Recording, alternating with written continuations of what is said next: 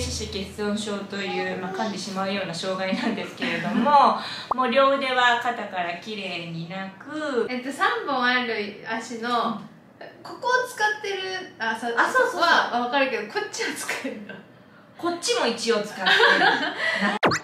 皆さんこんにちは。現代のもののけ姫ことまこです。え今日はですねコラボ動画ということで、はい。今私名古屋に来てましてあみさんとコラボすることになりまして。ありがとうございます。ありがとうございます。本当にありがとうございますします。皆さんはじめましてかなみです。よろしくお願いします。お願いします。あのあみさん私からこうコラボ依頼を。あみちゃんでね。あみちゃんでいいね。あみちゃんあみちゃんにね コラボ依頼を私からしたんだけど。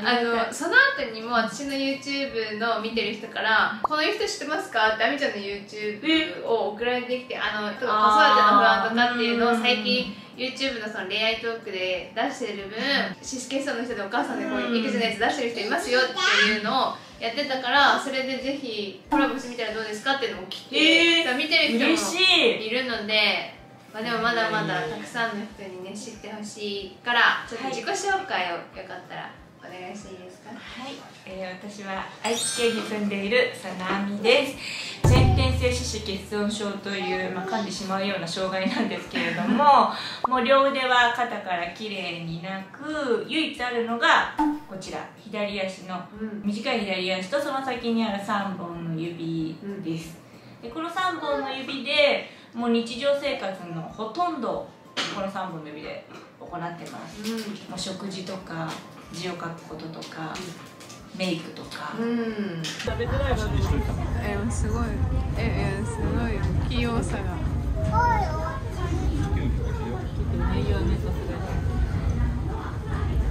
あ足を持っていくスタイルじゃな？く自分行くな行くスタイル。あへえ硬くなったからってこと？もはや指なんか手なんかわかんないけど。ねえすごいすごい逆に親指違うとこ行かないの太くて全然へまあ、今の子育てとか、お風呂とかあとは外出先でのあのトイレとかお手洗いの介助はあの誰かの手を借りて行ってますうんまあもう結婚されてお子さんもいるってことだから、うん。今日は旦那さんとちょっとね娘がいるからちょっとうるさかったら。えー、もう楽しく撮影していこうかなと。じゃあなんで今回は、はい。まあ私もこうあみちゃんの YouTube を子育てのところで、まあ、結構でも今メインに発信してることが多いけど、まあ、それ以外でもうん。こういうことどうしてるのとかこうこの時はこうどうだったのっていうのをちょっといろいろ聞きたいなって思うので、えーちょっと聞いていこうかなと思いますが。はい。じゃあじゃあ聞いちゃってはい。まあ生まれた時から私は中途障害だから、まあうんえー、と26歳くらい今から4年前の時に車椅子になりましてそれまでは全然もう健康バリバリ元気モリモリであった。でもあみちゃんは生まれた時だから自分でいろいろするっていうのは難しい中で、うん幼稚園はまずどういうところに行ってたのかすごい気になる。最初はあの死体不自由児施設っていうところになんか母子園をしていて、だからもう障害を持った子たちと一緒に保育園のような感じうんうんで、朝から夕方までほとんどやることは保育園と同じような内容で、うん。それがね5歳？ん3歳4歳までうん行ってたのかな。うん。でそこから周りがだんだん次も保育園に入れようと思うっていう、うん。ちょっとポジティブなお母さんたちが多かったみたいで、じゃあうちの子もってなって地元の保育園に、うん。まあ、お願いをしに母が行ってくれて、あのうん。一般の保育園に1年間だけ通って、うん。そこで初めて障害を持っていないうん。本当に一般の子たちと過ごすっていう経験をね、初めてして。うん。1年間だけだったけど結構記憶にあるぐらい充実してたかな、自分自身も、そのなんていうのか体がこう人と違うんだって思ったのもうん。その時がじゃあ初めて、意外と私なんか自分が障害を持ってるってうん。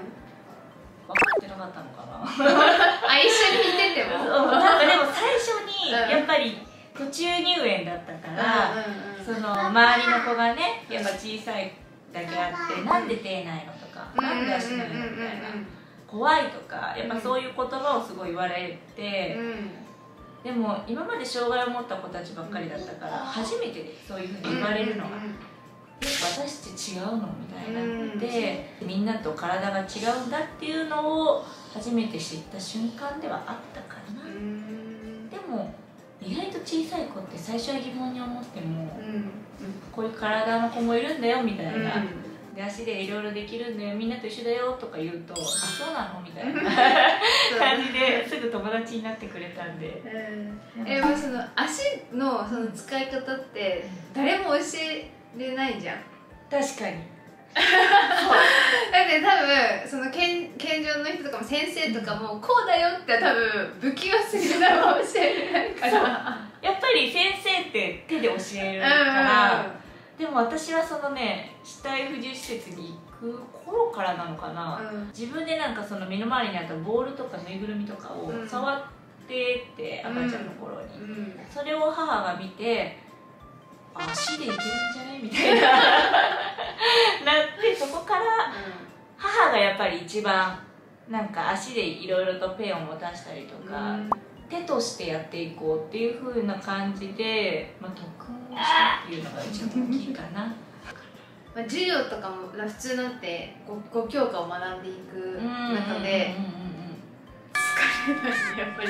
足も上げて書かなきゃいけないあそれが下に置きながら？うん机をうん。一番低くしてもらって、そうするとね車椅子の座面とちょうど同じ高さだああいけると思ってそれで足で書いてたんだけーど、うん意外とねやっぱ小さい頃からの特訓のおかげで、字を書く速さもみんなと変わらなくて、へえすごい。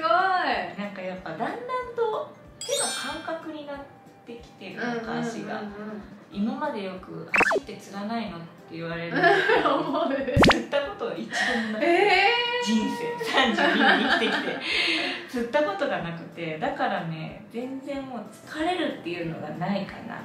えー。ちなみに、えっと、3本ある足のここを使ってるあそあそうそうは分かるけどこっちは使えるんだこっちも一応使って。でもね多分さあの使うことないかもしれない5から本指でいう小指でしょ？きっとこれ。そう。で多分真ん中がお兄さんかお姉さ中ん指。でこれが多分親で指5本指の人の小指って大体みんな死んでるのね。あの使えない人が多いから。えでもねでもそういう使えるとめっちゃ特訓数使える。そう。親指？大きい指と真ん中の指。2本でペン持ったり、うん。箸箸もねこの2本だけで使ってるからえー、こっち使えたらちょうどこうやっても出そうじゃない、確かに。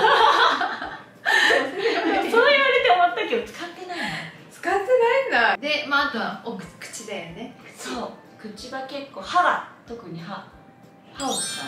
缶ジュースとか飲む時もうん。歯で開ける。かけたことはない。運ぶものとかもうんこうやって肩とこういう感じでうん。持ったりするんだけどその方が疲れちゃうから、もう何でも歯でいけるものは歯でいくってういう、ん。いや私も車椅子になってからはやっぱ両手が今度こっちで塞がっちゃうからうん。物を持てなくて。だからもう歯歯でもう加えることがすごくうんもう第三の手みたいな。結構丈夫になってでもよだれが溜まってくるずっと加えてるああああ でもあやばいやばいやばいって一回置いたりします。そうかずっと「えーってやりながらじゃないとちょっと待ってみたいなそうだからなんかねあの今こういうコロナになってからは、あのーそっさみみレジ袋こうもらってなんか加えちゃうこととかあるけどもうそんなの気にしてたら物持てないから。血を使うからちょっと衛生面気をつけた方がいいよって言われるんだけど。確かにそう。確かに思うんだけど、う んでもそんなんちょっと言ってられないよみたいな。そうそう後で除菌しますみたいな。すでにめっちゃ粘膜に 触れてるんだね。そう。そうなんだよね。だから、えっとまあ、学校その最終学歴は高校高校で会社員。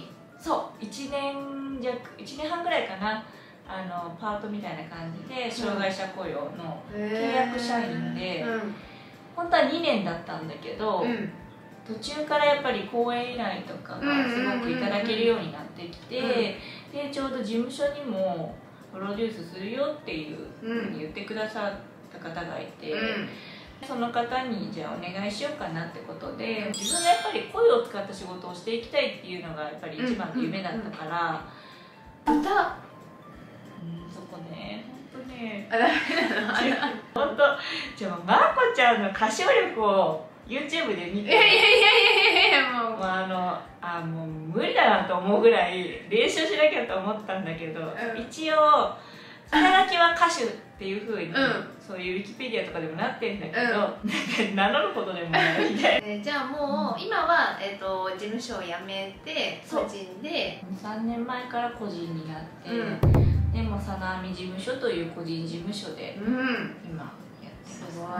旦那さん以外の方と恋愛は、うん。えー、としたことは？うん。したことは一応あるんだけど、うでもなんかがっつりそういう付き合ってるなって思う感覚がない。